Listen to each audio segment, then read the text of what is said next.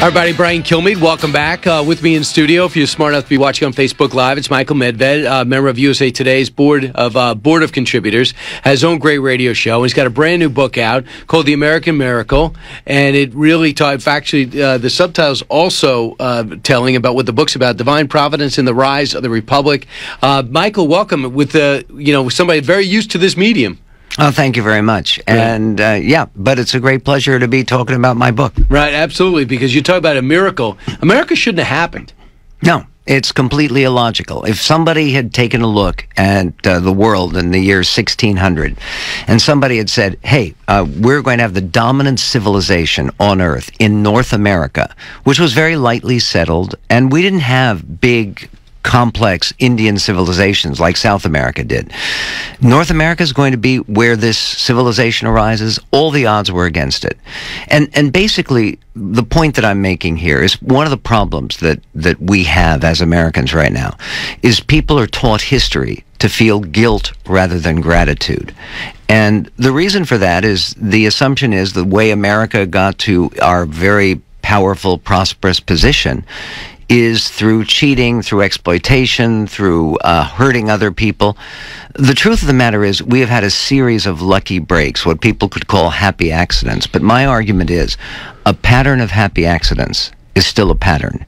And the pattern has been that God has continually blessed America, that there is a theme in our history. What's your first example? First example is the Pilgrims. Uh, I mean, the Pilgrims were supposed to land right here in Manhattan Island. I mean, eh, they were blown 250 miles off course. And that mistake created their success.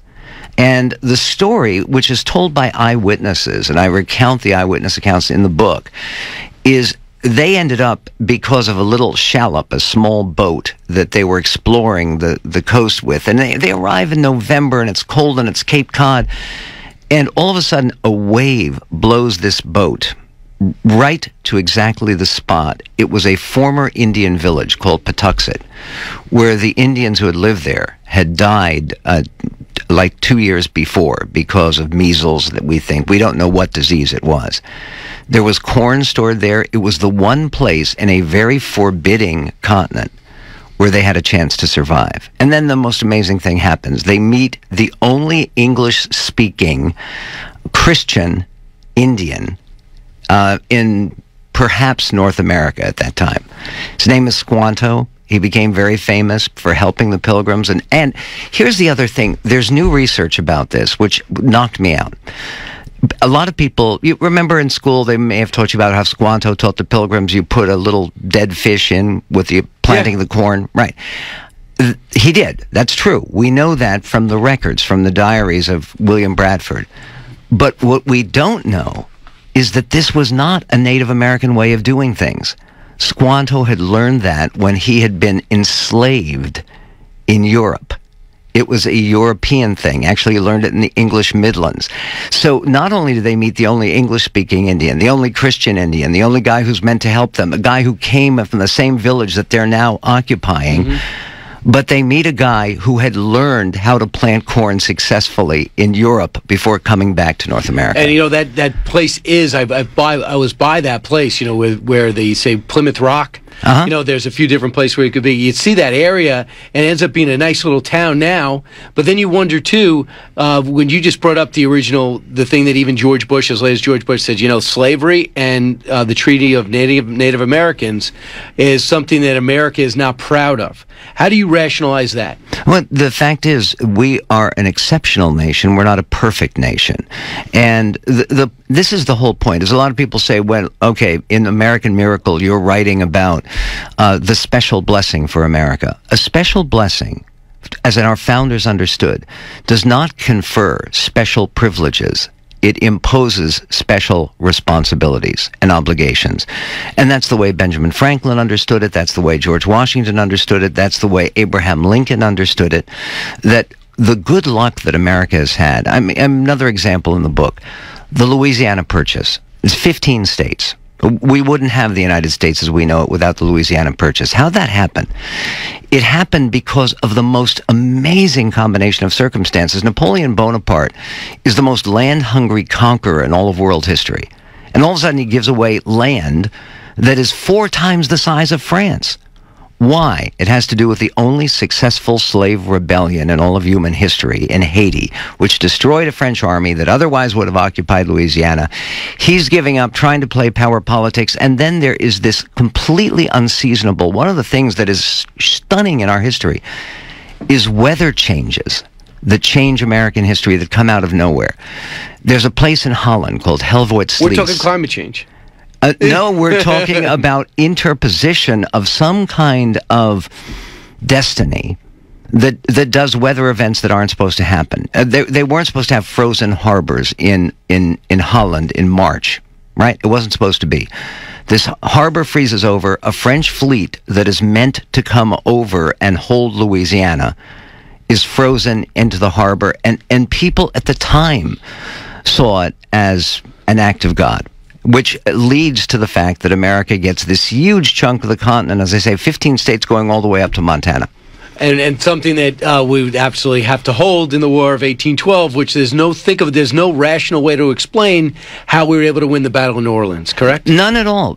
And by the way, this used to be a national holiday before the Civil War the Battle of New Orleans, January 8th, was a national holiday because this, this battle was a miracle. And here are the numbers. According to the official British toll of people who were casualties, there were 2,037 British casualties. You know how many Americans died? Seven. Okay, this is freakish. It doesn't make In any sense. In a very short period of time, too. Wiped Eight, out yeah. all their officers. 18 minutes is is what the battle took. And and again, and Jackson's forces, Jackson himself, you, you talk about all of these coincidences and these strange twists of fate.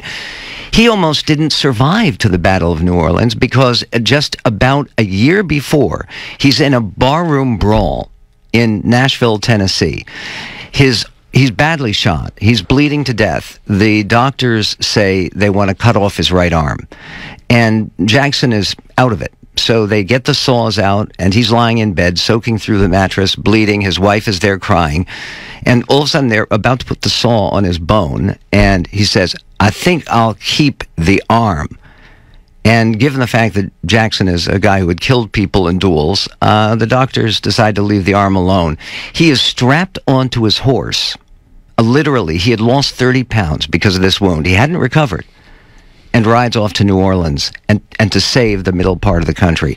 And again, new historical revelations, and which is that there was a secret orders that the British had, Pakenham, the British commander, that even if Britain had negotiated peace with Americans, and the Battle of New Orleans had occurred after peace, which it did. Treaty of Ghent. Exactly right even with that, there were secret orders that they now have. They found it declassified out of British military sources. The British were instructed to keep what they seized in Louisiana. Yeah, whatever you had when this was over, you held, you kept. Exactly. So America wouldn't have looked the same uh, easily, maybe ever, because the British had a way of holding on to things. Yeah, the Mississippi Valley, the whole Mississippi Valley, Mississippi. I, Iowa would have been part of Canada. So, and you know, there was scary, and they were talking about setting up All an Indian hockey. nation right in the middle there. You know, when the British would leave because they were using Indians against us, Native Americans against us. I also thought it was pretty amazing. Isn't that the army that defeated Napoleon? Yet they yes. can't defeat Andrew Jackson. Yes, a bunch well, of pirates. They, they were called uh, Pakenham's men at the Battle of New Orleans were called Wellington's heroes. And Pakenham, the British commander, was the brother in law of the Duke of Wellington, who beat Napoleon at Waterloo. They called the Americans dirty shirts because they didn't have any uniforms. But, but here's another thing. And, and again, this is a story that's very uncomfortable for people in this era of people being a little uncomfortable with religion. Everything. The Ursuline nuns. Uh, w- were there in New Orleans. They founded the first convent, the first Catholic girls' school in North America. And the Ursulines were praying for Jackson because the British had threatened to burn the city down. And they were praying, and they had just brought a, a, a statue of the Virgin. And they were praying to the Virgin using the statue Our Lady of Perpetual Succor. The Mother Superior said, If you grant victory to the Americans, we will observe a feast day forever in honor of that victory. And as they were celebrating Mass and and reaching the Eucharist in Sunday, that Sunday, January eighth, they got word in amazing victory. The Americans had won. And, and Jackson himself, who was a Presbyterian, went to the nuns after the battle and thanked them and said it was their prayers that had delivered his victory. Wow, that and some great planning and some deep readouts. Uh, Michael Medved's here. His book, The American Miracle, is now out. You go pick it up, then you realize we are an exceptional nation and somebody's pulling for us who's got a lot of power. Uh, back with more in just a moment. Hey, we're back, everybody. Michael Medved is uh, still here, kind enough to be here, talk about his best-selling book, The American Miracle. Uh, Michael's the author of 12 books, so this is nothing new to him. Uh, but this one, I could just see the passion in your eyes, even talking to the break about the things that happened that are just miraculous that made America what it is. Now, you were just describing to me a few other things. First off, I'd like to go over a story we both uh, know, but I'd like to get your perspective on. Here we are fighting the revolution, and we have success in Boston, and we end up back in New York, and Washington realizes he's in over his head. What happens with Washington through using uh, when the fog rolls in to possibly save the war and more importantly the army? Well, it's it's completely amazing. I mean, first of all, everything about Washington is amazing. The idea that he survives the Battle of Monongahela. There are 70 British officers on horseback. 69 of them are either killed or wounded. Washington is untouched. He has two horses shot out from under him. He's 23 years old, a lieutenant colonel in the militia. He has two horses shot out from under him. His hat is shot off his head. They see the bullet hole in it. There are four bullet holes in his clothes. Uh, he's untouched. And this, to me, is amazing. And there was a sense Brian. amongst his men that he could not be killed. Correct. And there's a reverend, Reverend Samuel Davies, who later became president of Princeton University, delivered a sermon saying God's hand is on this young man and he's been raised up to perform a service to his country. He was 23. this was 1755. Anyway, the the fog is an unbelievable thing, and everyone commented on it. This this is the the reason that it seems to me we need to understand history. Oh, the way that, that people who lived it understood it. And the people who lived it, including Washington, including Jefferson, who was a religious skeptic, took a look at this fog episode that you're talking about. The Battle of Brooklyn is the largest single battle of the American Revolution in terms of the number of troops involved. There are 30,000 British troops. It was the largest overseas army that Britain had ever mobilized. August 1776. They smash the Continental Army in the Battle of Brooklyn. Three major generals are captured. It's a disaster. Washington has to retreat to Brooklyn Heights. I know, I know it sounds like there are a lot of people retreating to Brooklyn Heights today, but Washington retreats to Brooklyn Heights. He's surrounded by the British. There's a British fleet with men of war with 40 guns on them each, patrolling the East River. And it's doomed. Everyone assumes that it's doomed. And then Washington orders the secret evacuation of his men, and a fog comes out of nowhere. It's August. It's New York. This fog covers everything, so the men of war could not see them. Because they couldn't all dispatch. By the time the sun came up, most of the army still was on land. Correct. And uh, and but the fog was still there. And here was the thing that everyone commented on. John Trumbull, the great painter, who was a young 19-year-old captain in this army. Trumbull, Connecticut. Right, you got it.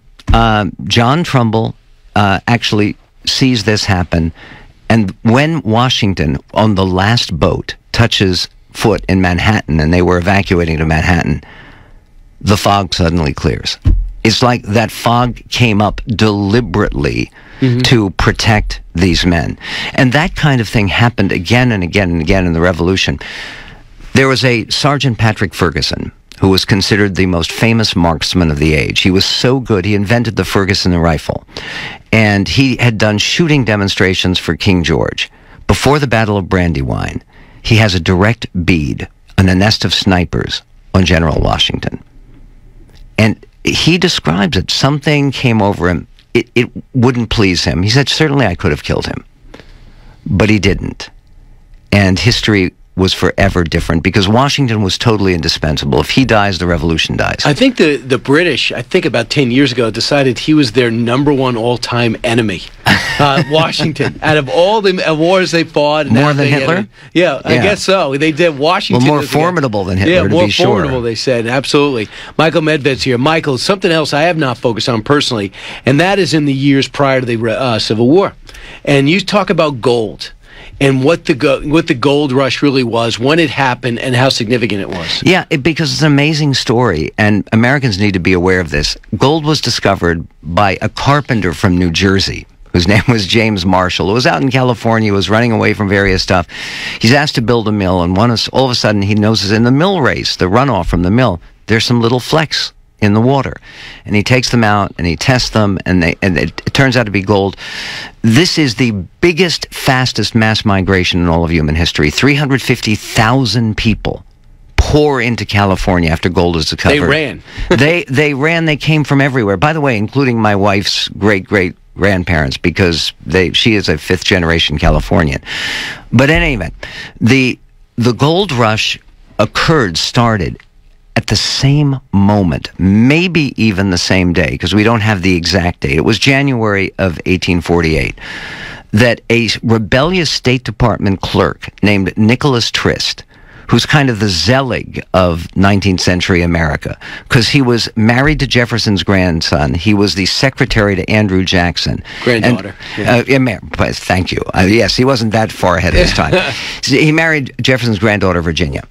And he has been sent to Mexico by President Polk to try to negotiate with the Mexicans. But the negotiations are going nowhere, so Polk fires him. Nicholas Trist says, You can't fire me. I'm going to continue negotiating.